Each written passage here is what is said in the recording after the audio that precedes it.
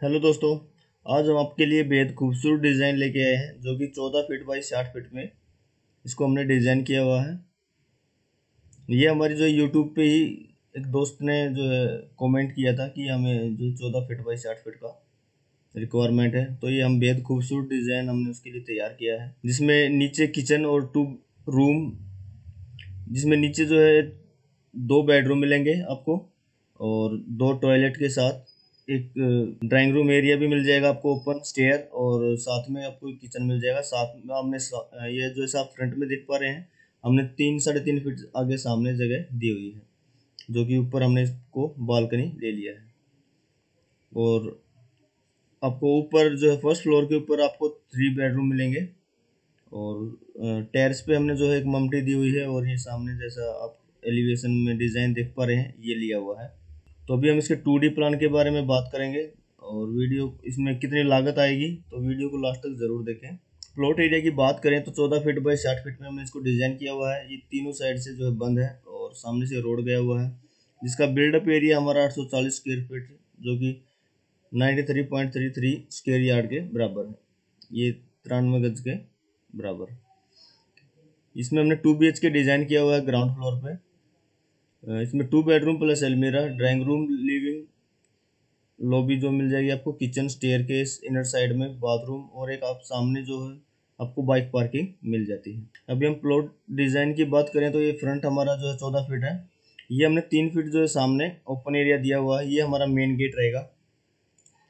जैसा आप ये थ्री में देख पा रहे हैं, ये हमारा एक मेन डोर रहेगा और ये सामने ही हमने गैलरी दी हुई है जो कि चार फीट साढ़े दस इंच की रहेगी।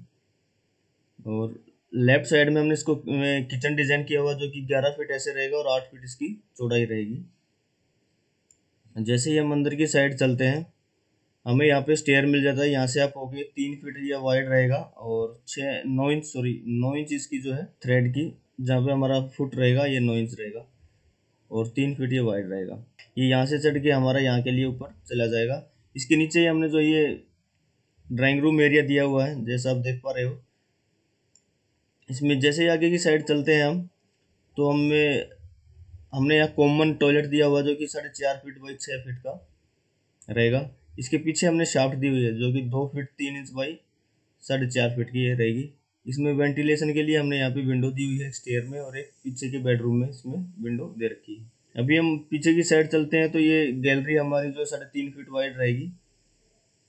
यहाँ से हमारा डोर रहेगा। इसमें हमने बेडरूम डिज़ाइन किया हुआ है, जो कि नौ फीट छः इंच बाई बारह फीट का बेडरूम रहेगा। ये इसमें हमने एलमेरा डिज़ाइन की हुई है।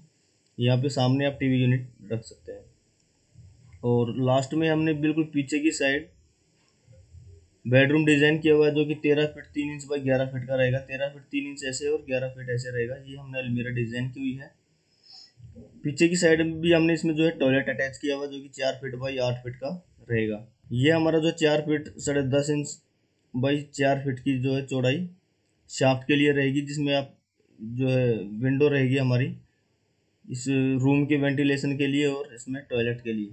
अभी हम फ़र्स्ट फ्लोर की बात करें तो हमने जो है सामने जो एरिया दिया हुआ था, इस पर हमने बालकनी दे दी है तीन फीट वाइड ये सामने आप ये रेलिंग जो देख पा रहे हैं, जैसा आप यहाँ पे थ्री में दिख पा रहे हैं। ये वाली हमारी ये बालकनी रहेगी ये डोर और एक ये विंडो दी हुई है। तो यहाँ पे हमने एक विंडो दी हुई है और ये डोर दिया हुआ है। इसमें हमने बेडरूम, ये जो है सामने जो किचन के ऊपर पूरा का पूरा जो हमने अब ये बेडरूम डिज़ाइन किया हुआ है, जो कि ग्यारह फीट तीन इंच ऐसे रहेगा और ग्यारह फीट ऐसे रहेगा।